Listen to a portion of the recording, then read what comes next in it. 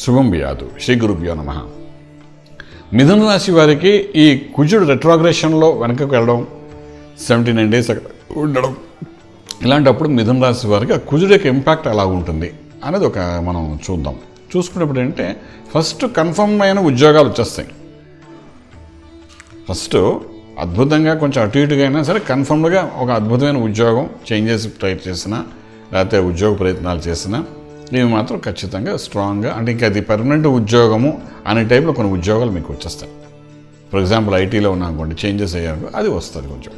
అలాగే core industry ఉన్నానుకోండి మీకు ఒక ఉద్యోగం అంటే ఉద్యోగం మారాలి మారిన దాంట్లో అది ఇంకా పెర్మనెంట్ అనుకోండి అలాగా ఒక రకమైన ఒక ఎస్టాబ్లిష్మెంట్ ఏదైతే ఉందో ఉద్యోగము ప్రవృత్తి అన్న ఎస్టాబ్లిష్మెంట్ ఏదైతే ఉందో అది స్టాండర్డ్ అయిపోతుంది ఒకవేళ మీరు కంటిన్యూస్గా రెండేళ్ళ నుండి ఒకే కంపెనీ పనిచేస్తున్నారు వాడు మేము కన్ఫర్మేషన్ ఇచ్చేసి ఇంకా లైఫ్ లాంగ్ మీ దగ్గర ఉండాలన్నా కానీ ఇవన్నీ ఎందుకు చెప్తున్నానంటే కుజుడు రాజ్యంలో ఉండడం తర్వాత అక్కడ నుండి వాడు రాశిని చూడడం మిథున రాశిని చూస్తున్నాడు. అంటే తన భావం తన ఆలోచన ఏముందో తన ప్యాషన్ ఏముందో ఆ ప్యాషన్ తగ్గట్టుగా ఉద్యోగం. నాకు ఇది ప్యాషన్ ఇప్పుడు నాకు అస్ట్రాలజీ చెప్పడం అనేది ప్యాషన్ ఇదే నా ఉద్యోగం. నాకు చిన్నప్పటి నుండి ఇదే ప్యాషన్ ఉండేది. ఎన్ని చదువుకున్నా కూడా బీఏ ఎంబీఏ చేసాం ఇవన్నీ చేసాం కానీ బట్ స్టిల్ నా passion actually to tell astrology ఉండేది at some age I started this line and this is my position అయిపోయింది అలా ఏంటంటే ఈ యొక్క ఒక నిర్ణయం మిథున రాశిలో ఉన్న మూడు నక్షత్ర వాళ్ళు ఎవరైతే ఉన్నారో పునర్వస ఆరుద్ర మృగశిర నక్షత్రం వాళ్ళు ఎవరైతే ఉన్నారో వాళ్ళు ఏ రంగంలో ఉన్నప్పటికీ కూడా రాజకీయ రంగం అనుకోండి ఐటీ రంగం అనుకోండి సెంట్రల్ గవర్నమెంట్ అనుకోండి స్టేట్ గవర్నమెంట్ అనుకోండి లేకపోతే ప్రయత్నాలు చేస్తున్నారు అనుకోండి గవర్నమెంట్ ఉద్యోగం కోసం ప్రయత్నం చేస్తున్నారు అనుకోండి దానికి ఏమైనా స- సంతకాలు పెట్టి అప్లికేషన్స్ నింపి దాని ముందుకు వెళ్ళాలని ప్రయత్నం చేస్తున్నాం అనుకోండి అలా అనుకోండి. ఏది మీరు అనుకున్నా కూడా రాజ్యంలో కుజుడు ఉండి ఆ కుజుడు మిత్రుడి ఇంట్లో ఉండి ఆ కుజుడు యొక్క విశేషమైన దృష్టి మీ లగ్నం మీద పడింది కాబట్టి లగ్నం అంటే ఆలోచన ఏది ఉంటే అదే రాజ్యం. యద్భావం తద్భవతి అన్నట్టు మన భావన ఏది ఉంటే ఆ రకమైన ప్రొఫెషన్లో మనం సక్సెస్ఫుల్ అవుతాము.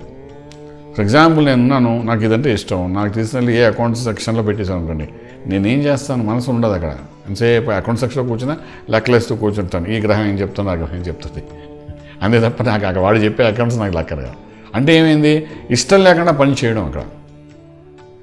అటువంటి దాని నుండి ఇప్పుడు ఈ మూడు నక్షత్రాల వాళ్ళు కానీ గట్టి ప్రయత్నం చేస్తే వాళ్ళకి ఇష్టమైన ప్రొఫెషన్లో సెటిల్ అవడానికి అవకాశం కుదురు ద్వారా జరుగుతుంది. అదైతే షూర్ ఒకటి. ఎందుకంటే సెవెంటీ నైన్ డేస్ రెట్రాగ్రేషన్లో ఉన్న అలాంటి ప్రయత్నాలు ఏమైనా చేసినా అందులో సక్సెస్ఫుల్ అవుతారు. అంటే ఒక ఉద్యోగం కోసం ప్రయత్నం చేసి నాకు ఇష్టమైన ప్రొఫెషన్ ఈ లైన్లో వెళ్ళాలనుకుంటున్నాను ఇంతకుముందు జూన్ జూలై ఆగస్టులో కానీ గట్టి ప్రయత్నం చేసి అది అయిపోయి ఉంటే అది క్లియరెన్స్ అనేది జరుగుతుంది. అలాగే కొన్ని రోగాలు ఉంటాయి. కొన్ని అనారోగ్య స్థితులు ఉంటాయి. ఫర్ ఎగ్జాంపుల్ అమ్మగారికి మిథున రాశిలో వాళ్ళ అమ్మగారికి ఏమైనా అనారోగ్య పాత దేవుని ఉంటే అది రెక్టిఫికేషన్ అవ్వడానికి ఇది ఒక సరైన సమయం అవుతుందని చెప్తాం అన్నమాట అలాగే మనకు ఒక విషయం ఏంటంటే ఇవన్నీ ఒక ఎత్తున జరుగుతుంది. రెండవది ఏంటంటే ఇలా ఒక ఉద్యోగాన్ని సెట్ చేసి వాడు పక్కకి వెళ్ళిపోతాడు. ఒక వ్యవహారం సెట్ చేసి పక్కకి వెళ్ళిపోతాడు. ఒక వ్యాపారం సెట్ చేసి వెళ్ళిపోతాడు. ఓ రాజకీయంలో ఒక పొజిషన్ సెట్ చేసి వెళ్ళిపోతాడు. ఫర్ ఎగ్జాంపుల్ ఈ ఈ యొక్క డిసెంబర్ మనం అనుకున్న డేట్ లోపల ఒకవేళ కానీ ఏమైనా ఎలక్షన్స్ ఉన్నాయనుకోండి కార్పొరేట్ ఎలక్షన్స్ అనుకోండి ఇంకేమైనా ఎలక్షన్స్ అలాంటివి ఉన్నాయనుకోండి ఆ టైంలో వాడిని సెట్ చేసేస్తాడు. అంటే ఒక లీటర్గా తయారు చేసి వదిలేస్తాడు ఇంకా. ఇంకా అది కంటిన్యూషన్ ఉంటుందన్నమాట. సో ఈ పీరియడ్ అనేది మెయిన్గా పబ్లిక్ రిలేషన్తో చేసే పనులు ప్రజాహితంతో దృష్టిలో పెట్టుకుని ఎవరైనా చేసేవాళ్ళు ఎవరైనా మీద రాసేవాళ్ళు ఉంటే అలాంటి ప్రజాహితమైన కొన్ని పో పోర్ట్ఫోలియోస్ కోసం ప్రయత్నాలు చేస్తుంటే వాటికి సంబంధించిన ఎలక్షన్ కానీ వాటికి సంబంధించిన నోటిఫికేషన్ వాటికి సంబంధించిన కొన్ని యాక్టివిటీస్ ఉంటే వాటిలో వాళ్ళు సక్సెస్ఫుల్ అయ్యే అవకాశం ఉంది. ఇది ఒక సెకండ్ పాయింట్ మనం మాట్లాడుకోలేక.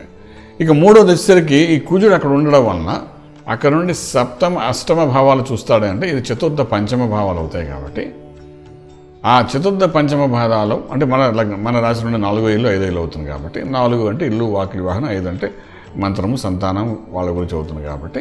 సో ఈ రెండు భావాల మీద విశేషమైన దృష్టి పెడుతున్నాడు కాబట్టి ఈ రెండు భావాల్లో కూడా మనకేం చెప్తున్నాడంటే మనకు వాహనము ఇల్లు వాకిలి వాహనం ఒక ఇల్లు వ్యవహారం మంచి చెట్లకు సెట్ చేస్తాడు.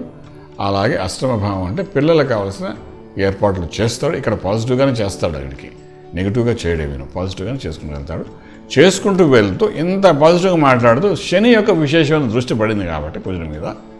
ఈ కార్యక్రమాలు అంతా చేసి దీనికి ఎక్కడో చిన్న పిసరు పెండింగ్ కూడా పెడతాడు. ఇంకా ఎవ్రీథింగ్ ఇస్ క్లోజ్ బట్ ఏంటంటే చిన్న ఖర్చుతో కూడిన వ్యవహారం నడుపుతాడు. ప్రొఫెషనల్గా సెటిల్ అవ్వడానికి కొంత ఖర్చు అవుతుంది.